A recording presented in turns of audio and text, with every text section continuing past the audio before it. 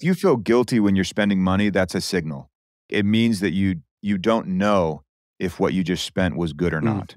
If you spend it and you're right, you don't know you're right. And if you spend it and you're wrong, you don't know you're wrong and you just did something horrible for your future self potentially. Welcome to the Military Money Manual Podcast, where every episode is all about achieving financial independence in the military faster than before. We believe personal finance shouldn't be boring or intimidating. Building wealth can be simple, and financial freedom is the ultimate financial goal. Now, here's your hosts, Spencer and Jamie. Hello, podcast listeners. I'm Jamie, and I'm here with Spencer Reese, the founder of MilitaryMoneyManual.com and author of the book, The Military Money Manual.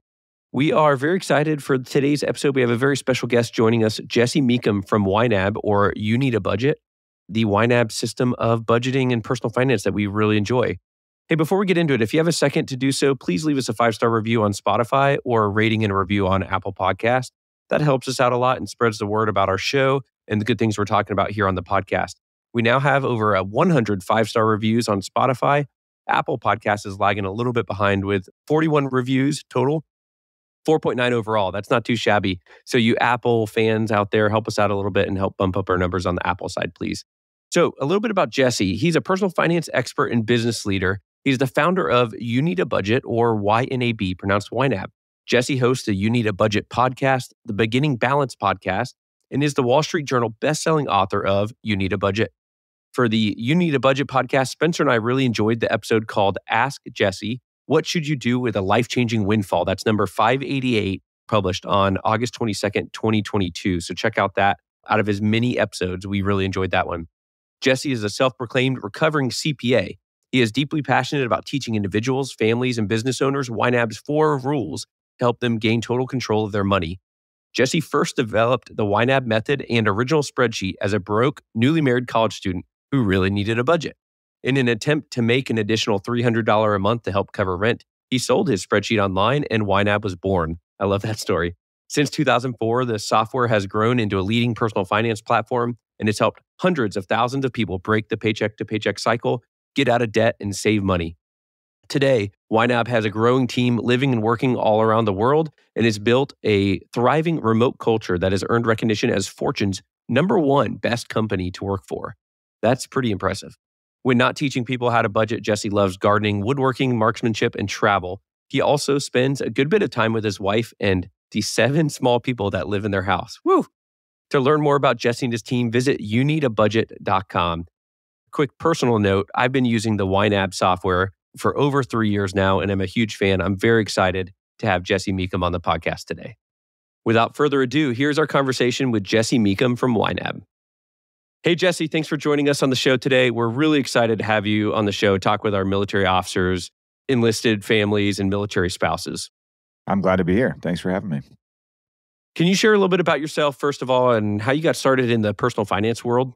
Yeah, I wish it could be a glamorous start or something super romantic, but I was studying accounting and had three years left, married early. And so my wife and I were just kind of newlyweds. She wanted to be able to step out of the workforce once our first baby came along. And I wanted to make some extra money to cover that that shortfall. So we had been using a little spreadsheet that I had built using my newfound accounting skills. And it had worked pretty well for us as far as kind of getting on the same page with our money. And I thought maybe I could sell this little spreadsheet. And this was back before phones were anything but phones. You know, this was back when that was good technology. I launched YNAB in 2004 while I was still in school and finished up with a master's degree in accountancy and worked in that field for less than a year, realizing that I do like tracking where the money goes, but not not for big corporations. I like it for the people, you know. So I didn't last long there, but but here we are almost 20 years later. That's great. Jamie and I were actually stationed with your brother for one of our assignments in the Air Force. And you've got another brother in the Air Force as well. That's pretty Yeah. cool military connection there. Another small connection is both my brother and my sister are certified public accountants or CPAs. Oh man, I'm- so, I'm, uh, sorry. that must be yeah, so. I you identify with your comment about being a recovering CPA. I think my brother is a recovering CPA. My sister is, is going to be there soon. Initially, when you created the spreadsheet version, what what was the idea to to start selling it? It, it was just to make the extra money to to support the Yeah. family. how did you set up the website and stuff to get that going? Yeah, well, first of all, I have to kind of come clean on this. Like I'm the only the only son in the family that can't fly a jet. Just to be clear, like where my skills lie. And so people are like, "Oh, what do you do?" I'm like, "Well, I'm not a pilot like those guys. I just sit in front of a computer." And then my brother the other day was like, "Well, to be honest, I kind of sit in front of a computer while I'm flying as well, so it's maybe more the same thing." But but no, I it really was like I I wish it was like this entrepreneurial thing where I'm like, "Oh, I had this itch I had to scratch." I had built a spreadsheet for me and Julie before we even got married, before we had merged our finances. I was just like, "Man, we're going to be really really poor. Like we're we're not going to have a lot of money. We were making 10 bucks an hour as students." And we lived on the cheap, but I knew we'd have to watch what we were doing with the money pretty carefully. And so I just built a spreadsheet for us that we used just personally. No, no concept of like how oh, this will be a business. But then when our first baby was coming, I was doing some calculations. We had started to accumulate some savings. It was really important to us that Julie be able to step out of the workforce and just focus on being the mom. So, with her income disappearing, I was doing some calculations and I figured we would need about 350 bucks a month in other income I needed to scrounge up in order to get the last two years finished out and get my master's degree wrapped up. And then it was like off to the big accounting firm, become a partner. You know, that was the end of that. But it really was. I we had a shortfall. I thought I could make it up, and so I just learned how to build websites by googling. Google was kind of new back then figuring that out as as I went along. And if anyone wants to feel good about whatever they're doing, like feel really good about it, just go back, you know, use the archive.org site and look at YNAB from 2004 through until I found real design talent, you know, and like you'll know when the design talent was hired and when I stepped yeah. back from that. So, but yeah, you just, you know, I just made it up as I went along. And, and the cool thing about that is you fail fast and, and you learn and, and you get better over time. So I wouldn't change anything except, you know, hopefully I could make those mistakes even quicker and the end of the day, whatever mistakes you made brought you to where you are now. And I don't know if I'd change much. It kind of reminds me of the hundred dollar startup idea because I'm I'm going to make yeah. an assumption here that initially you probably just bootstrapped it right with your own your own cash. Yeah, initially and forever. Yeah, it was sixty three bucks. That was what Julie and I decided we could afford. Which you're like, oh, that wasn't a lot of money, but that was half of our grocery money. Not that we spent grocery money, but just the equivalent framing. You know, it was like, well, half of what we spent on groceries for a month we're going to fund this. And it was, you know, it was almost zero. Back then, you could buy clicks for five cents, you know, to try and test things out, which is how I could get kind of some early traction and see, like, is this landing? Is it not? Things like that. That's awesome. Okay, really important question now, Jesse. Can you still do 31 pull ups? I cannot. I'm probably in the 25 range. Like, I, I can still crank them out. I've been hanging stuff off of my waist lately to try and change it up. I would rather do three really, really hard pull ups than hang for 25. You know what I mean? So that's where I'm at. Yeah. I'm, I'll get a big kettlebell, I'll chain it up, waddle into position, and then bang out a couple triples. It works. So nice. I like that. I mean, I think I would impress a Marine, you know, if someone were to be like, hey, do some pull. I'd be like, all right, Marine, I can, I can do, I can do a few of those. I won't run though. When they ask me to run, I'll say no. Well, Luckily, you're talking to two Air Force officers, so I don't know how many pull-ups you're banging out, Jamie. I don't. Am I? Am I stepping on toes? I hope I'm not. May I? I might be, but no, no. I I can probably. I love it all. I have no favorites. So. In your bio, you talked about marksmanship. Is that riflery or bow? Handgun. Handgun. Yeah. Okay. I mean, rifle. Like anyone can be a good marksman with a rifle. You know, it's when you have that. I'm just kidding. Like some snipers, like, oh, you little, I can't believe you said that. I would love to learn long gun stuff, honestly, because it's just all the math and everything. But yeah, specifically how fast you can get from from holster to two shots downrange. That was kind of nice. my, that was what I liked. So, were there any lessons that you've taken from your practice of marksmanship to apply to personal finance, or are the two disciplines just so separated that you don't see any connections?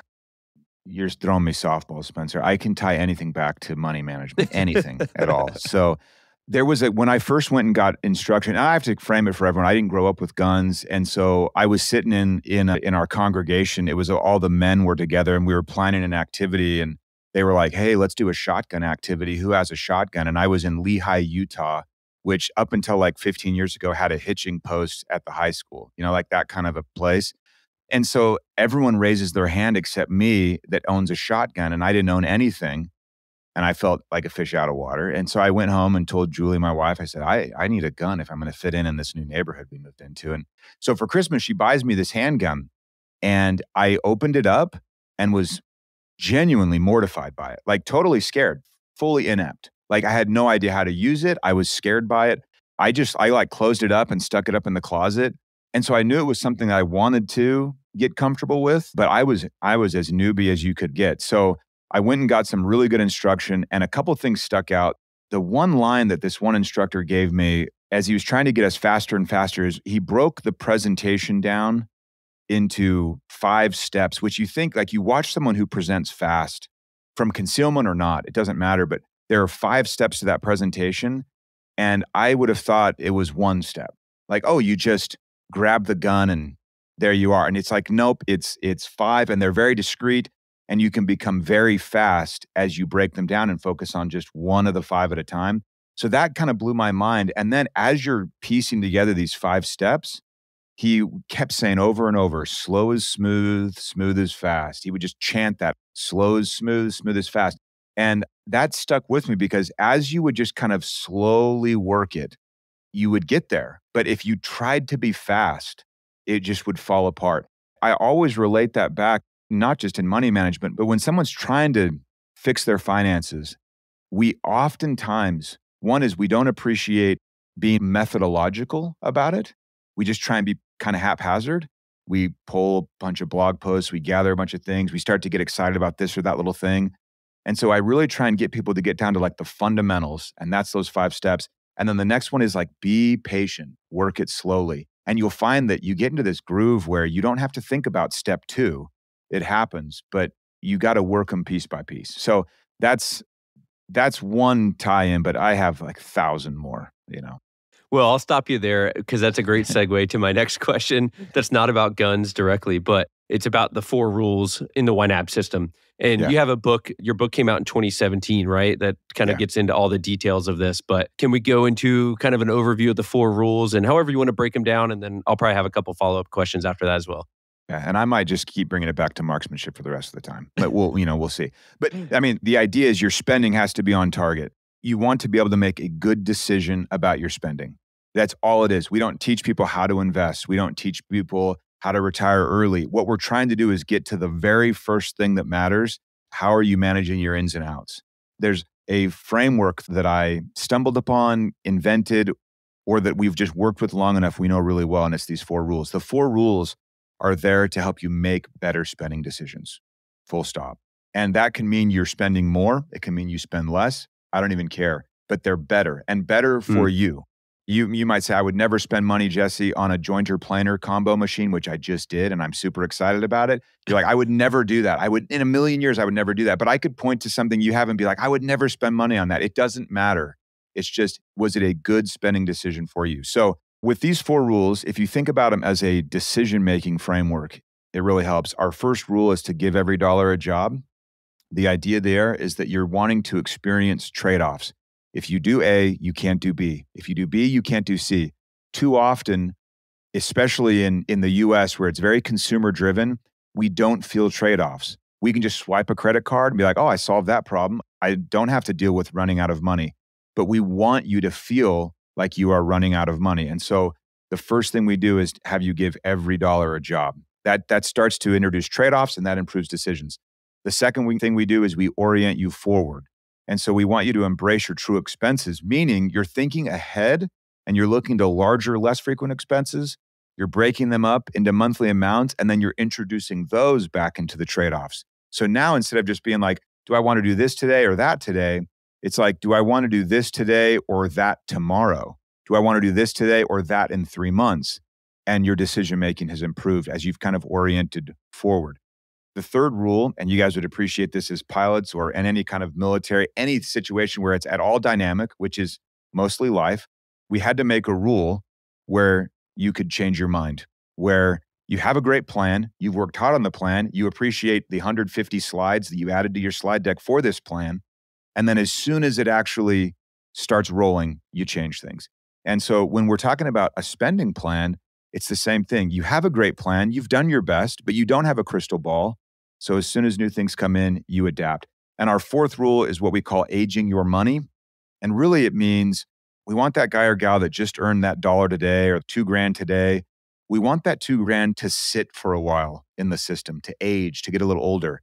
Too often we earn the money and the money's like a day old. It's like a little baby and you're sending it out. And you're like, do this, do that. It's like, it's not ready yet. We want there to be a distance between when you earn money and when you spend money. And with that distance, you get more time to be able to evaluate a decision and make the best call. So in that instance, giving yourself time also improves your decision making. So really it's experiencing trade-offs, being future oriented, being flexible, call it rolling with the punches, and then finally giving yourself some time to really make the best decision.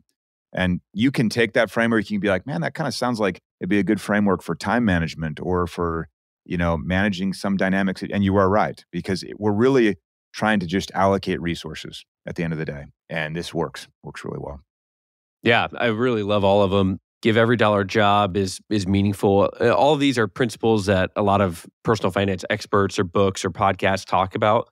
Yeah. I like the way that you guys broke it down into four kind of easy to understand and easy to follow rules. The one I really want to call out is rule number three, which took me a little bit getting used to when I became a YNAB user in 2019, over three years ago, because a lot of people in the military are very detail oriented and it leads to sometimes budget not working because we said this was our plan and we're going to stick to it. Yeah. And that can be a challenge. And you mentioned a couple lines in your book that I'm going to I'm going to just read real quick because I think it'll really hit this point. If you change your budget, you haven't failed at budgeting. You've adapted with the best of them. This flexibility isn't how most people imagine a budget, but it may be the key to making it work. And then you go on to say it's not a failure, but a reprioritization. You're not accountable to every line item in your budget. It would be like holding yourself to the hour by hour schedule you wrote a week ago. It just won't match reality. So changing my budget is not failing. And I think when I read that line, my wife was like, oh, sick burn. Yeah. because that's exactly what so many of us struggle with being able to adapt to a plan because we spend so much time making the plan perfect. And that's not just about money, but especially with money. Yeah, yeah, absolutely. It's the the plan is only as good as you can as you can adapt to it. And uh, I don't know where we get that. No one does it in real life in any other form. I mean, when you guys fly, it, you try and stick to the plan. But, you know, I mean, there was one time my brother stuck me in a simulator and he was like, hey, just try and keep the plane steady. I think as he was getting his wings, I think it was part of this. And we were on, on base for that. And he's like, just keep it level. I couldn't believe how hard it was to keep that stupid thing just level, you know? But he's like, the simulators where they would throw everything possible at you, like it would never happen in real life kind of situations But there's a lot to learn in that. And the last thing you'd want to do is be like, well, hey, that wasn't part of my plan. Therefore, flying doesn't work. You know, we, we would never make that conclusion. So anytime you're planning your your son's football practice or you're planning a vacation, you you got to be adaptable. It's just a, it's just driving on a road that you always drive on and you see there's a detour and you just go around. No big deal. Yeah, there was a couple thoughts that I had when you were running through those lists right there was as an economics major, you know, giving every dollar a job and forcing people to choose, you know, do I want A or do I want B? That's just opportunity cost from yeah. economics. But it forces you to assess your values, right? And it forces mm-hmm. you to decide what do I actually want to do? Because money is a finite resource, time, time is a finite resource. And most of life is made up of finite resources that you have to allocate Absolutely. in some way. And if you don't have values that drive those decisions, well, then this is going to force you to either figure out those values, develop those values, or just to say, what are my values? And if you don't have values, I think the good life is made up of, of values, right? Whatever your definition of the good life is, you have to have some values behind it. And if you're just floundering, if you're just flapping in the wind and going whichever way, I think it would be a life not worth living. Yeah, I agree. It's it's well put. The other thing you said was, you know, with rule three, they're rolling with the punches. And it reminded me of a couple things. You know, no plan survives first contact with the enemy mm-hmm. or with reality. And you gotta, you gotta continuously update. You gotta iterate. And if you don't, and you're just like, no, no, no, this is the plan. We're sticking to it. It's unrealistic and it's it's gonna drive you crazy. If you contact reality and you realize, okay, we spend thousand dollars a month on groceries, and that's what happened last month, and that's okay. If that doesn't align with our values because we had to choose, you know, $200 that we missed spending on something else, then you have to, you're forced to make that choice. It almost reminded me of mindfulness or meditation, where mm-hmm. when you're trying to be mindful, you're trying to meditate and focus on the breath, when you lose that concentration and your monkey mind runs off and you start thinking about something else, and you're like, oh no, I'm thinking about something else, come back to the breath. And everyone's like, oh, I failed. I failed at meditating. No, no, no. Yeah. That's that's the bicep curl right there. And paying attention. And so your rule three about rolling with the punches, that's budgeting. That's mm-hmm. adapting mm-hmm. what you're trying to do and, and figuring out what your values are and then adjusting your spending so that you match those values. So I think I think those four rules, I I don't know how you stumbled on them, but I really like how they they kind of encapsulate this framework. And like you said, it doesn't just apply to money. It can apply to time. It yeah, can apply absolutely. to to so many other factors of life. I think I'm wired innately to care about resource allocation in the most general sense. And so when I was building the spreadsheet that had these rules in it, I didn't know I was building something that enforced these rules, but it naturally enforced what I thought should be taken into consideration. You know, I, I hate when I see people work so hard for a dollar, and then as soon as all of their effort is converted into a dollar, they're suddenly just like, ah, whatever. I'm so surprised by that. You have these guys that have gone through just crazy training, they're experts in their field, and then they're just like, oh, I don't do money. And you're like, what are you what are you talking about? You don't do money. Like, why are you so effortful and intentional and mindful and strategic about all of your career. And then as soon as all of that career effort is converted to a dollar, you're just like, ah, whatever happens, happens. It's such an incongruent thing that it bothers me to my core that I see that happen. Like energy is converted from time into a dollar and it's still energy. It's still valuable inherently. And so we want to make sure that we're deploying that energy. It's just just stored up energy we're just deploying that to where it lines up with our values. There's the contentment. It's not that you make more, it's not that you retire early. Those are all great things. But when your money is lined up with what you really value, it's a part of you that's lined up with what you really value. It's just you and all of your past efforts. And so when those two are are on the same track, I mean, we have people constantly tell us like I feel better, I'm not making more money. I'm not even really saving more money, but I just feel better. We're like that's because there's there's some congruence now. Yeah. I love that. That's so good.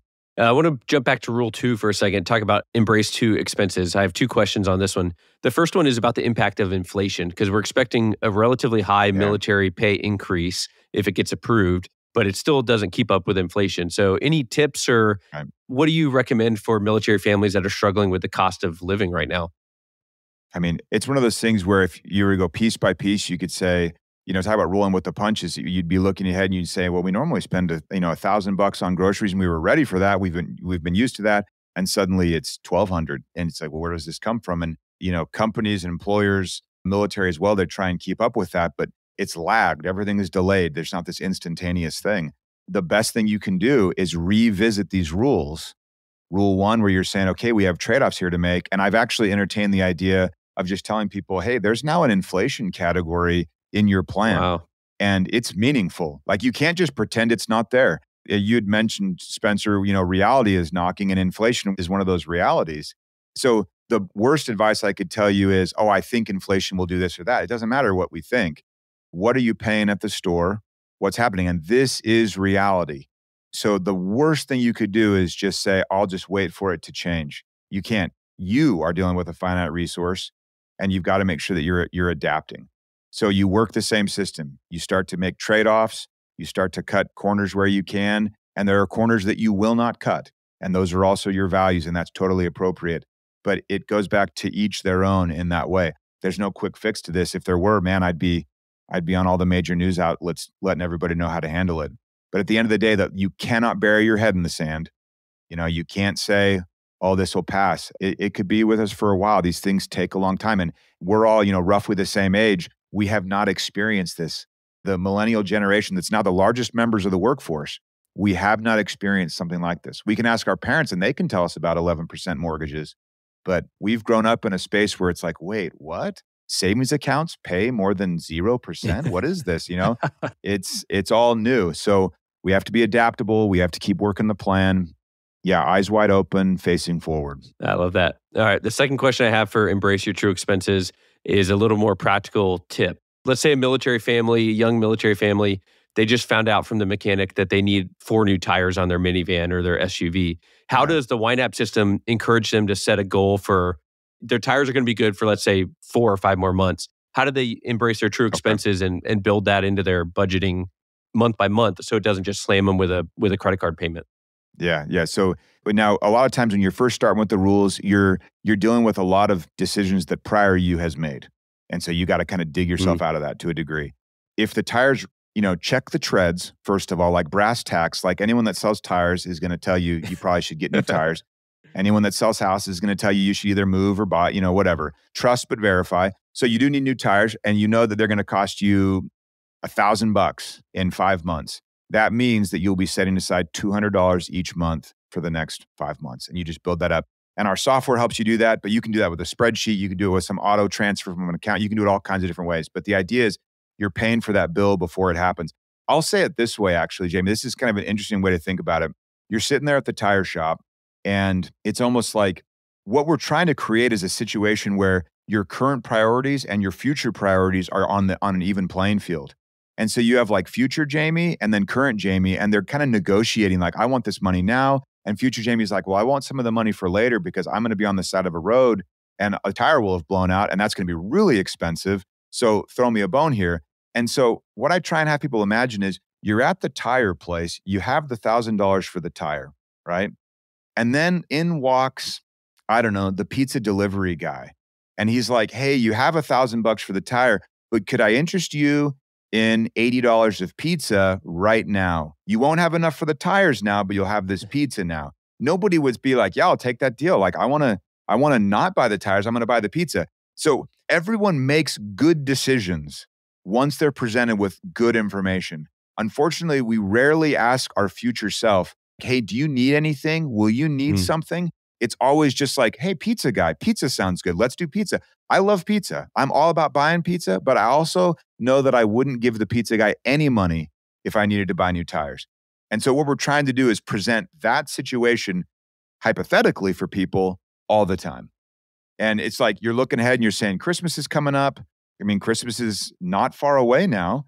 So, or what are we going to do? You're buying tires, and then, you know, your daughter walks in and is like, Daddy, I would like a Christmas present no one actually is doing that. But like, am I going to buy sushi or am I going to buy Faye a Christmas present? I don't actually do that mental math, but it's this idea of all things considered equally, because then the values, as Spencer mentioned, the values start to really be fleshed out. And that's that's where the magic happens. Would you rather have a nice Christmas or go to the bar a few more times? And everyone's like, I yeah, Christmas actually sounds right. Okay. But then sometimes, sometimes you actually do want to go hang out and have a good time and not have guilt plague you afterward. That's what we want to have happen. Yeah. And I think the YNAB system is, is great for that, avoiding that spending guilt where yeah. you you know that dollar has a job and that job right now is to increase your fun time with your friends. And that's yeah. that's so important, right? The social the social yeah. connection. Absolutely. If if you if you feel guilty when you're spending money, that's a signal. It means that you you don't know if what you just spent was good or mm. not. If you spend it and you're right, you don't know you're right. And if you spend it and you're wrong, you don't know you're wrong and you just did something horrible for your future self potentially. So, either way, whether you can afford it or you can't afford it, the feeling is the same. It's uh, consternation, it's friction, it's guilt. It's just a little thing in the back of your head. It's like, I hope this is okay, misplaced hope. But what we want to get is where you're swiping the card with joy you know, you're at Disneyland and you are buying the churro that hopefully is still the same price. We'll see. They say that that's the best inflation indicator is the churro cost. I don't know, but that's what I heard. So, Jamie, you and me got the churros, didn't we? We did. They were like eight eight dollars or something. They were pretty expensive. Yeah. So maybe if if Disney and if Costco gave up on the dollar fifty situation with the hot dog, then we know we're really in a bad spot. Yeah. But they're still holding the line at a buck fifty. But my whole point, Tangent City, but my whole point is that when you know you can afford something, it's so great. It's so great. It's the, that is the way you should operate is I can buy this happily. And then here's another signal. When your spouse is spending money on that quirky hobby that you still don't understand after 10 years of marriage and you're happy to see them do that, now you know you've arrived. Right. I love that. We had a podcast episode number 47 about breaking the paycheck to paycheck cycle. For me personally, I I was stuck in one when I was a young lieutenant. I was in pilot training and I would put all of my expenses on the credit card. My paycheck would come in, I'd pay off the credit card, and I'd have about $15 to get to the next paycheck. And so I just put go. all the expenses back on the credit card. It was after I got married and I, I had a spreadsheet and I showed my wife the spreadsheet. And you know the money would come into the checking account. She'd be like, "Oh, great, we have a thousand dollars." I'd be like, "Oh, no, no, no, I, there's a credit card we have to we have to pay right. off." And she's like, "Okay, so how much money do we actually have?" And I'm like, "Well, probably about you know fifteen or thirty dollars. So just put the expenses on the credit card." And she said, no, I'm not living like that. We have to, yeah. we have to fix this. We're living paycheck to paycheck. And Ed, she had made her own money previously. She was a well paid pharmaceutical rep and she was much better at budgeting than I was. So once we broke that cycle and we, we basically froze our spending, you know, for 30 days until we yeah. could, we could start getting ahead again and, and aging our money. But what are some other tips that you have for listeners on getting out of the terrible paycheck to paycheck cycle? I don't like to give people don't spend money on this, don't spend money on that kind of a thing. I want them to kind of discover it on their own and be able to become aware of where they're spending, become aware of their priorities, and then start to see where money is going toward things they don't really care about. I will give you a, a shortcut though, just to save people the trouble. I have interviewed thousands of people at this point. We have so many data points. A lot of people get out of tons of debt because they realize, oh, I don't really care to be in all this debt. I don't care to pay all this interest. Would I rather not spend my money on those things? And the answer is always yes. So you have people that have just dug out of tens of thousands of dollars of debt fairly quickly. And I'm always like, well, wait a minute. You were living paycheck to paycheck. You barely had nickels to rub together. You're in 30 grand in debt. And then nine months later, you're out, or two years later, you're out. Like, what? Did you get a big raise? which aunt died you know like what happened here to help you out and and they're like no the aunt is still healthy you know every time every time. And i try not to put words in people's mouths like did you do this? Did you do that? Where did you find the money? Every time without fail without exception they have said we cut back eating out. Mm. so i hate to be like the bearer of boring boring advice but that is the first place people notice incongruent spending, they start to realize how much actually is going out the door for that. They start to realize that taking 20 minutes to make a quick meal is less time than driving 30 minutes to go and grab something quote unquote quick. There are all kinds of things they start to realize as that money matters to them more doing something else. And that's the point. Because I also interviewed someone one time who said, Well, I spend about three grand eating out and I like fell out of my chair. That's not my jam and they loved it. So I was like, okay, okay, I can get there. But it was interesting to hear them still go through the same exercise of, wow, look how much I spend. Do I really love to do this? And they straight up, I mean, I'm not, it's hard work to spend three grand eating out. You got to really choose your places carefully. You can't be doing Chick Fil A, you know, like you. No, that's too much no. Chick Fil A. Like you gotta, you gotta go to the spendy spots. I didn't ask him like, do you do wine? You must do wine. But whatever it was, he loved it. So it's just cool to see that people come to conclusions where they're like, I'm not going to spend money here. And they don't feel like they've lost a thing. So that's one quick way to break the paycheck to paycheck cycle is just look there first. There are other things you can do, but as you work the first rule and you work the second rule, you'll start to see where money's going places and you're like, I'd rather have it do something else. No shame, no guilt, no like uber frugalness just to be frugal. None of that just priorities, money going out the door. Let's make sure they line up. So, for a guy that has a company that has the word budget in the title, it's not a very popular I word. Hate it. I hate it. Yeah, worse. Is is there any income level or net worth where you tell people they don't need a budget anymore, or how does that work? Honestly, if we were to change our name to just YNAB and you never knew what it stood for, I'd be like, yeah, that's what we are. Like, it was just YNAB. Forget forget what I ever thought about you need in a budget because people think about it incorrectly and we spend 45 minutes being like, no, no, no, no. It's not that you can't spend. No, no, no. It's not that it's restrictive. No, no, no. It's not shackles from your spouse. Like we'd spend so much time unwinding all of the bad ideas that people have. It'd be like if I said, hey, Jamie, let's go on a diet. You're just like, mm, no, I don't think so. You know, like there's just so much baggage attached to it. So I really hate the word. What we teach people is not budgeting. I'll just say that right now. We teach people a whole new way of making spending decisions so that they love how they spend their money. That's what it is. We want you to love how you spend, love how your spouse spends. love spending money on your kids, love spending money on your hobbies, love spending your money to get out of debt, budget, whatever. I, I just, I really, we don't do that. We don't even teach it. We just teach people how not to do it. And it works really well. So, back to your specific question is there an income level where someone just doesn't need to worry about careful spending or strategic spending? No, absolutely not.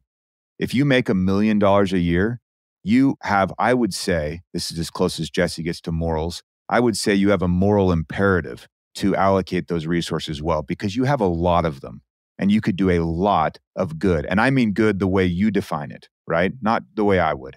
It is a moral imperative to have all of that useful resource at your disposal and not do good with it by your definition. So that's why you still need a quote unquote budget. You need intention behind valuable resources.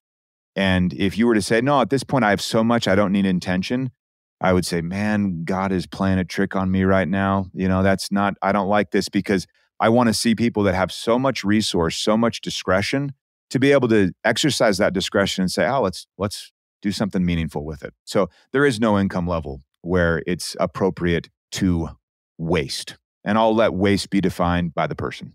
Jesse, the anti-budget, is this some a concept you're familiar with where you just set a high savings rate and then spend the rest of you you've heard of okay. Yeah. So you've heard of this.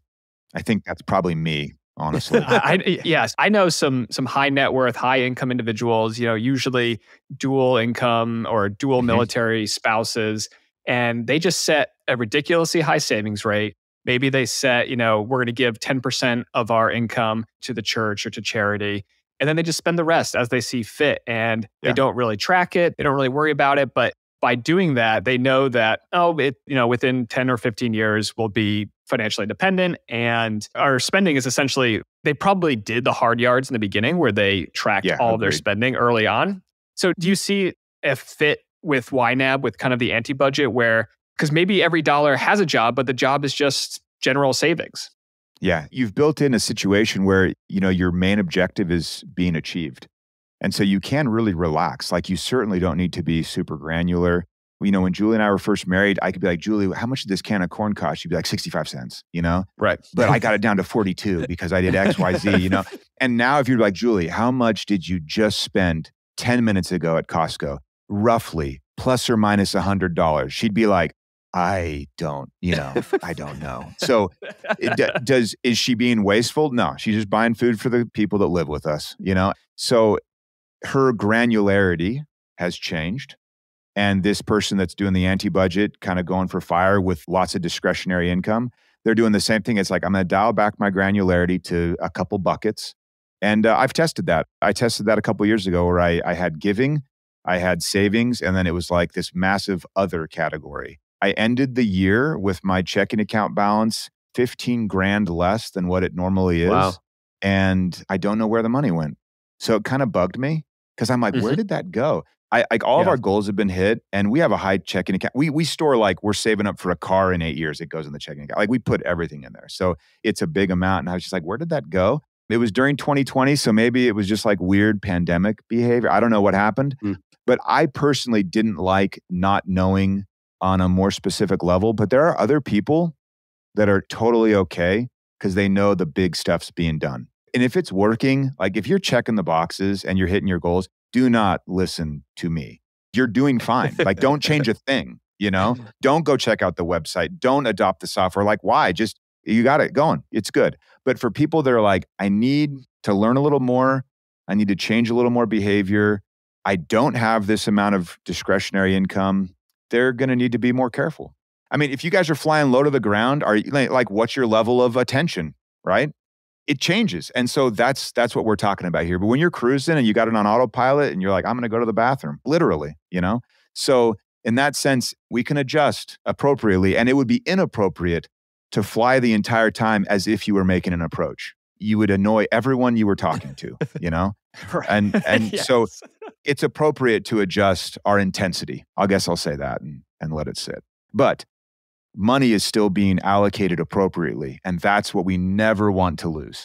Yeah, I think if you are in that scenario where, let's say, you're mid six figures or high six figures income, and maybe you dial the granularity back a little bit where you can go to a restaurant and you can it doesn't matter if the bill is $60 or $120 but at the end of the year if you you know look back and you're like man we made i don't know let's say $200000 and i can't account for $10000 like $10000 just vanished you know it, it didn't mm-hmm. go into something we wanted well that's a $10000 opportunity if maybe the next year you track and you figure out, okay, where did that money go or what are we spending money on that, that we don't know? And that's an extra $10,000 you may be able to give to the charity yeah. of your choice or that you might be able to throw into a kid's, what are they called? The uh, 529. Yeah. Or just spend it intentionally. Like well, just yeah. be like, man, I, I could have bought something really awesome. You know, I mean, who knows? So, but yeah, if, if you don't know and it bothers you, that's, that's your signal. That's that little bit of friction we mentioned mm-hmm. earlier, whether it's guilt or an unknown or back of your mind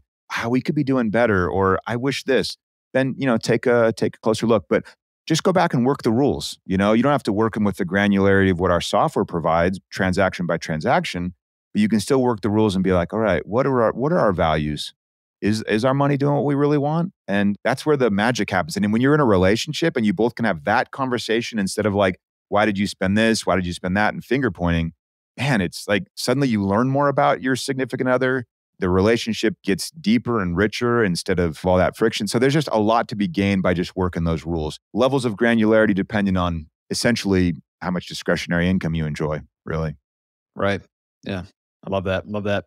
That freedom to, you know, be as much attention as you need on the subject and then once you reach that point where you want to focus your attention somewhere else then you can do that because you you have the system set up and you, you know it's running in the background and it's automated and your goals are being achieved and you don't have to stress about it so much there are diminishing returns to you track and track and track and track. And it's like when people start saying, "Oh, I have a toothpaste category, so I'm ready for my next." You're just like, "Yeah, that's gone, you've gone too far. You know, you've taken it way too far. You can probably just swing the toothpaste when that thing runs out." And so mm-hmm. that's the bit that there are diminishing returns to the effort, and you want to make sure you're balancing that. So Jesse, you must encounter the same questions over and over have you helped as the have you hit a million users yet? Oh, I wish. App? No, we have we have not hit a million. Well, you know, all in all, if I were to look back and see like who we've helped and along the way, we're we're well above that. Yeah. It's not enough though. Is that your question? Am I satisfied? No, I'm not. We need more. we, need, we need more people. Well, we hope hopefully we can send some of our listeners to youneedabudget.com or to the app. But what are some of the most common misconceptions or myths that you encounter about budgeting? You kind of addressed this a little bit earlier, but what's just like the top one or two things that people come in and they say, man, I don't want to do this. And you say, no, you need a budget. It's the name of the program. Yeah. I was being totally sincere when I said that I hate the name You Need a Budget. I don't mind YNAB because it's just like some weird word. You know, that's totally fine. But the first misconception is it's the idea that it's not flexible, which just kills it out of the gate you will fail. You will fail quickly and you'll blame it on the process and you'll just say, I, I can't do money or whatever. And that's a tragedy. The second one is that it means you can't spend money. Money is meant to be spent. That's the whole point. Like, I want to spend all of it. And if I outlive Julie, then I'll make sure it's all spent. if she outlives me, she'll make sure it's all spent. It's an agreement we have, you know? It's meant to be spent, it's meant to be enjoyed. You've worked so hard for it. So enjoy it. And people come in and they think budgeting means austerity. It's just a plan. It really is just a plan. And it's your plan. You're the coach, you're the maestro, you're the boss, you're the captain, whatever. But it's all it's all yours. And so you just work the plan. Actually, we see more people tell us that it is liberating. And I find that interesting considering their initial conception is it, it will be restricting. But they're like, it is so liberating to go out to eat with my girlfriends or whatever and not give it a second thought. And then what's cool is they tell all their girlfriends at the table that are sweating, like, I shouldn't have gotten the extra nuts on the salad or eh. whatever. you know, they tell them, like, no, actually, I'm using this app and they flash it to everyone. We love when that happens. So I love that. But that idea of just like guilt free, value aligned spending, that's the whole point. You just, you're going to love, love how you spend your money. Have you read the book Die with Zero? No, but I really like the title. Yeah. Okay. You need to read Die with Zero because it gets to exactly what you just talked about with the agreement you have with your wife, where if you outlive her, you're going to spend all the money. If she outlives you, she's going to spend all the money. And that's essentially what he argues in the book is don't wait. This is getting a little tangential here, but especially like if you have kids and you want to give them an inheritance, the time to transfer assets to them Yeah. is probably between age 24 and 35. Because if you do it before that, they're too young and they don't know what to do with it. If you do it after that, if you've raised them right, they'll know what to do. But when people receive these million dollar inheritances when they're in their 60s or in their 70s, it's too late. Yeah. Either they their health has declined or they don't need the money because they went and made their own, you know, their own luck or they have made poor choices throughout life and so they need the money and they're just going to waste it anyway. So Yeah. I highly recommend you check out Die with Zero. It's a book we've talked about on the podcast before. I'll buy like five copies and just kind of leave it around the house for my kids to kind of just notice and be like, what is that? What is that dad's book? Oh no. Oh no. Oh, no. What's going to happen? I was really banking on that. Yeah. Classic Warren Buffett situation. Okay, Jesse, this this might be a little bit of a trap for advice because it might conflict a little bit with your values-based spending, but a question we've asked a couple other guests is let's say that there's a young airman listening and they're stationed overseas in Japan. They have $3,000 a month, call it after taxes, and they have pretty low expenses, call it 1500 a month, so pretty easy math even for a history major. Mhm. How would you help guide them to set up their budget with the remaining 1500 that they have? Well, I would just walk them through the exercises we do with people. So, one that you do is you don't think about the money at all and you just start talking about what do you want? You live here in Japan. That would be a sweet place to live. If I lived there, I would try and learn Japanese. I tried one one year for 6 months. I totally gave up. It was so unbelievably hard. But if I lived there, maybe I'd have a better shot. So that's what I would do. I would seriously look at like acquiring some sweet sword while I was over there. I mean, like, is it just Jesse drops in Japan? And like, I would go get tutored by like a master Japanese woodworker and be like, how do you do this? So, yeah, I would seize the day while I'm over there. You live in a spot that you won't live again, probably, and it's unique in the world and awesome in a thousand ways. So that's where my mind goes is like, we have an opportunity here. So, yeah, we're throwing money in the TSP. You're fine. You've got a housing allowance that lets you live in this crazy expensive place for a very subsidized situation. So, like, all of this is working for you. That's where I'd go. Woodworking, samurai stuff, the language. Yeah.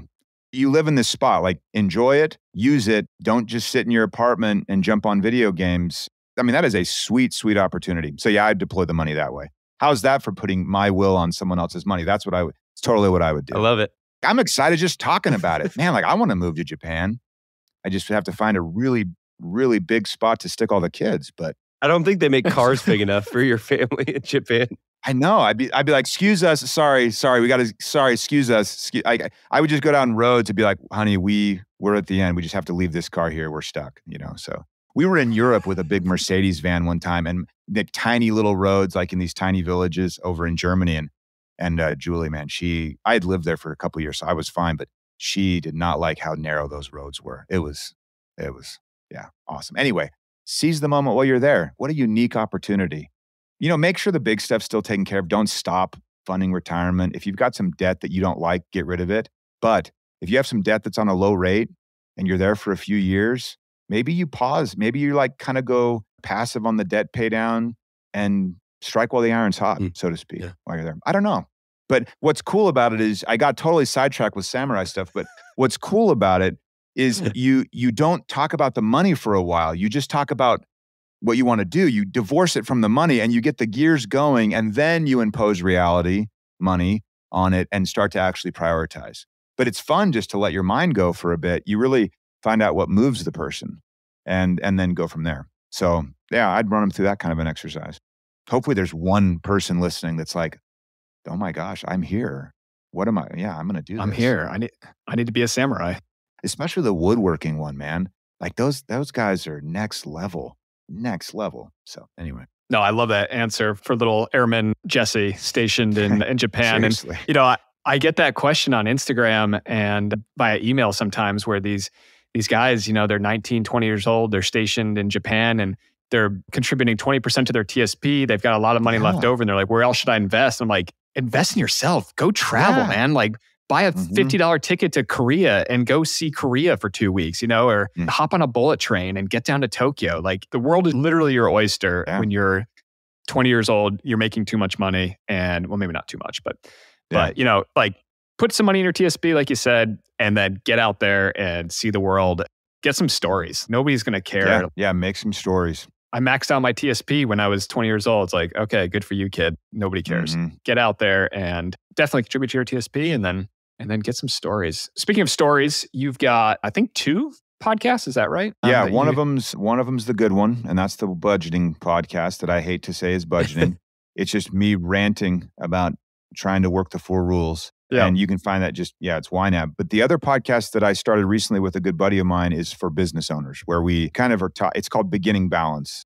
We talk a lot about well, we go on serious tangents over there, but we do try and apply this decision making framework around spending in the small business arena because there's a lot more money flowing through business than there is in personal. So if you can Right. redirect that flow, you have an even bigger impact. So it's been a fun spot to kind of jump into, pretty new. Same rules apply, but uh, just in the business sphere. Are there any episodes that you'd recommend listeners to go listen to off the top of your head on either of those shows? The first few of the beginning balance, where we go through the rules for business owners, they are, are solid. Some of the others, you can look at the topics and be like, oh, they talk about hiring, I don't care. They talk about process improvement, I don't care. But those first that are just applying the method to business thinking and strategic thinking, those are fantastic. And then on the other podcast, I have no idea. It's probably almost 600 episodes at this point. They're all Wow. four or five minutes long. Like they're just a quick, it's a quick little hit. I think it's weird when people listen to all of them from the beginning. Like it's super creepy. I don't like that. Like it, it's, I've been doing this for 10 years. So they're like, oh, I love the episode. And I'm like, what did I say? Like, did I even say that? Like, it's kind of scary to think, you know, 10 years ago you were saying stuff, but they're all there and people just kind of get a little quick hit. And it's really just to kind of stay on track. Like, okay, yeah, I'm going to keep working the rules, but you don't need to listen to this voice for hours at a time. That, that'd be horrible. But Jesse, our time is coming quickly to an end. I want to give you one quick shout out on your podcast, the YNAB podcast, because I'm continuously impressed that you can cover a complex situation like any personal finance or budgeting topic in four or seven minutes. Anyone that's been listening to me and Spencer for a while knows that we are more like 45 or 60 minutes. And we tend to ramble and go on tangents, like you mentioned with with your other podcast as well. So I'm very impressed by that and applaud your your short and concise episodes there. It's a gift. No, you- you're like, man, your answers here were longer than every one of your podcast episodes. That's quite something, you know. But yeah, there it is. We really appreciate your time today. Does YNAB offer a free trial period, or, how can users get started with if they want to learn more about YNAB, connect with you and your team? Where should they go find you? Yeah, so ynab.com, Y-N-A-B.com, and you can find us there. The the software's got a 34-day trial and then see how it works from one month to the next. It's important that you kind of see that transition from month to month. But also we have online classes that people can take that are live if they want to learn more. We have a fun YouTube channel that people can subscribe to between you know, subscribing to all the other rando stuff on YouTube, you've got that. So every once in a while on your feed, it'll pop up something useful about, you know, spending a little better. But honestly, if people just work the rules, like you don't have to use our software, I would love for people to. It's built to do the rules really, really well. But two things if you're already hitting all your goals, just see this as entertainment. Number two is if you like the four rules and you want to implement them, you can use our software to do it. But again, the rules are free. It's just good thinking. So I don't want anyone to feel like they got to disrupt their whole flow just to use the software. But I am proud of it, and I'm proud of the team that puts it out there. It's it's top notch. So yeah, that's kind of that's kind of a little bit of my pitch on that. But hopefully, people pulled some extract out of this and can get some value from it. What about social media, Instagram page or Twitter or anything else where people can find you? Yeah, at YNAB for Twitter, I think. At You Need a Budget, probably as well. I got off Twitter in, in 2016, so you can't find me, but people can email me personally if they want to, especially if you're, you know, deployed in Japan and you are a young airman. Like, let's email me. Let's figure this out. But yeah, it's jesse at ynab.com to shoot me an email. But I, I'm off social stuff just so I can stay focused on things that matter. No knock on anyone on social, but I mean, let's be honest, you know. So Yeah, well, I mentioned to you before we started recording and a little bit throughout the episode, I personally have been using the YNAB software and app since 2019, over three years now. And I'm really, really enjoying what you guys are doing. I really appreciate all the work your team does and how it's helped my wife and me communicate better about money and have that values based spending that you talked about. And it's been really powerful for us personally. So thank you so much to you and the team. thank you. That's awesome to hear. Well, Jesse, thank you so much for coming on the podcast. Again, people can find you, youneedabudget.com or YNAB, ynab.com. You also mentioned your socials there as well if they want to reach out.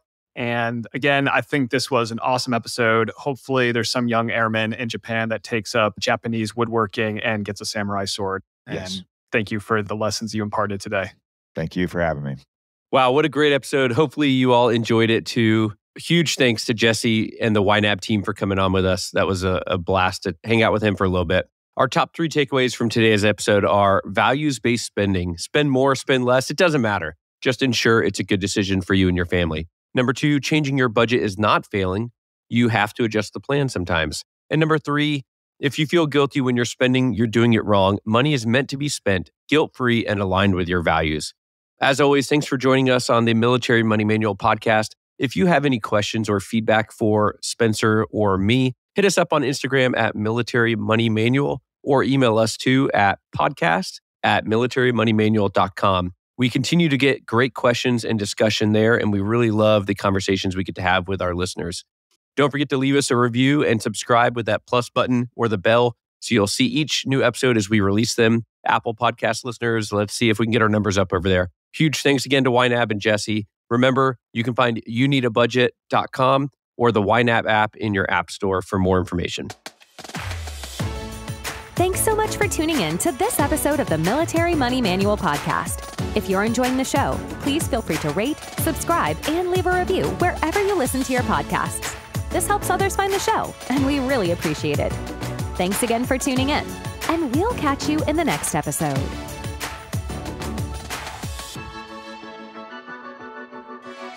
Hey guys and gals, Spencer here again. Before I let you go, I want to let you know about two things. First, my 100% free course, it's called the Ultimate Military Credit Cards course, and you can sign up today at militarymoneymanual.com slash UMC3. I've been running this course for over four years now, and we just celebrated our 7,000th graduate. In this course, I walk you through an absolute beginner's guide to travel hacking and opening your first fee waived credit cards in the military. Again, you can sign up today at militarymoneymanual.com slash UMC3. It's 100% free, no spam, and you can unsubscribe at any time. Second, my book, The Military Money Manual, A Practical Guide to Financial Freedom, is available on my website and Amazon today. Head over to shop.militarymoneymanual.com or if you want the Amazon version, search Military Money Manual.